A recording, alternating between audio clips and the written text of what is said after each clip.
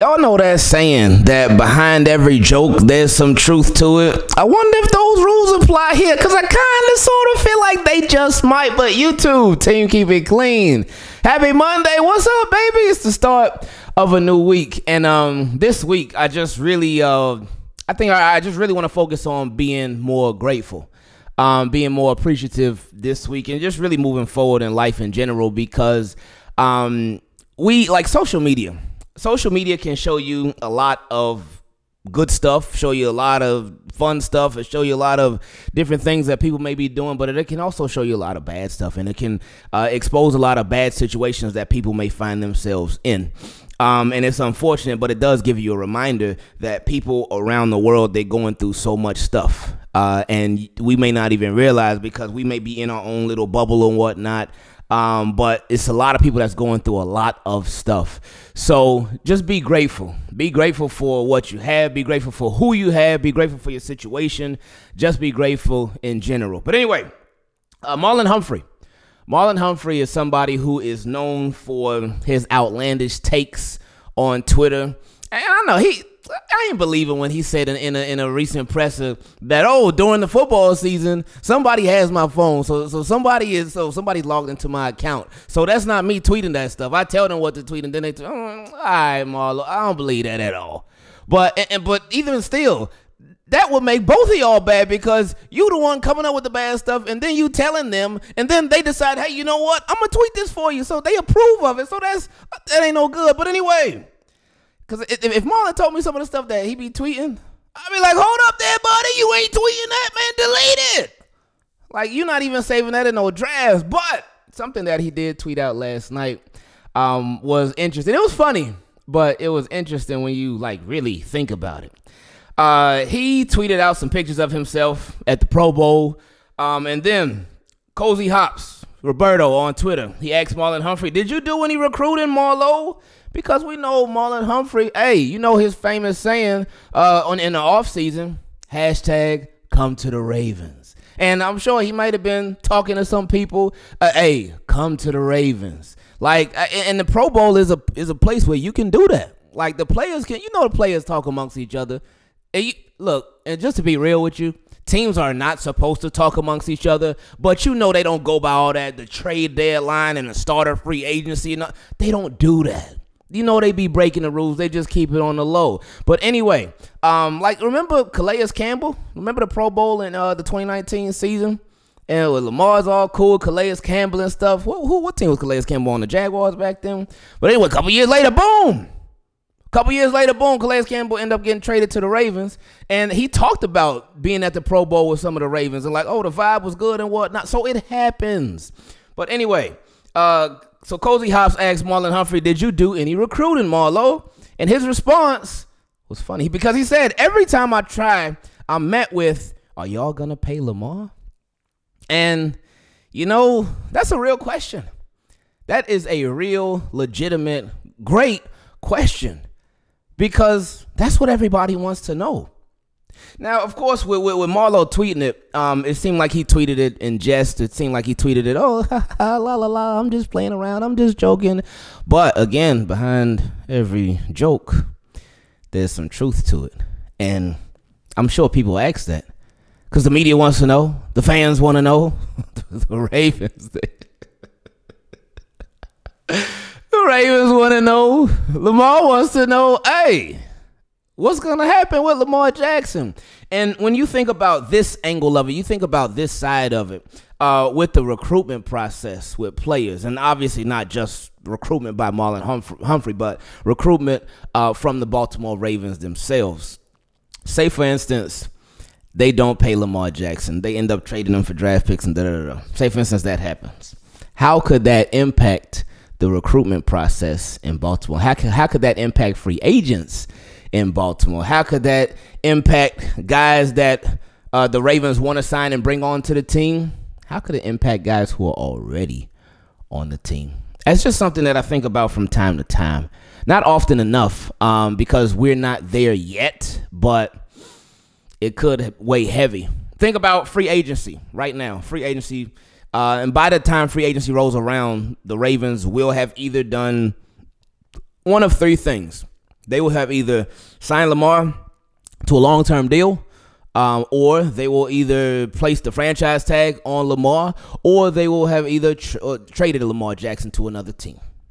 One of those three things will have happened by the time free agency starts on, I think, what, March 14th, I want to say. Um, so we'll know when we know. Uh, but I'm not expecting it to be the long term deal at that point. We'll see. Crazier things have happened, so we won't know till we know. But say, for instance, Lamar Jackson is franchise tagged.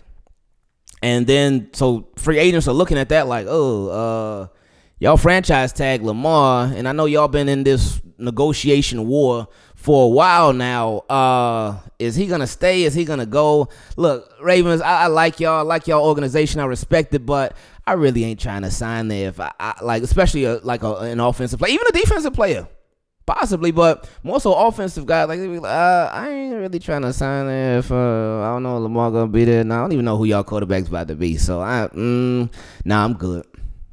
I'm straight.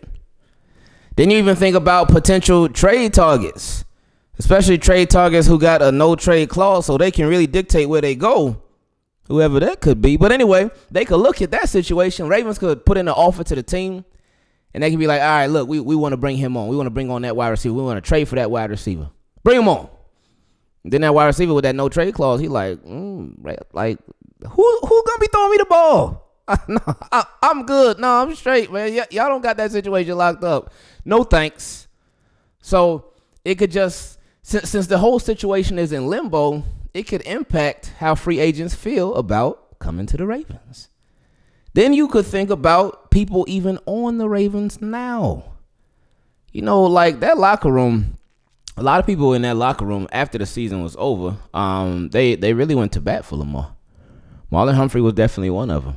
Um, but they they spoke highly of Lamar. Uh, Marlon Humphrey did. Calais Campbell did. Or J.K. Dobbins obviously did. hey, if we, we would have had Lamar, we would have won, baby. No offense to Snoop, of course. Um, but yeah, they, they they they rock with Lamar in that locker room.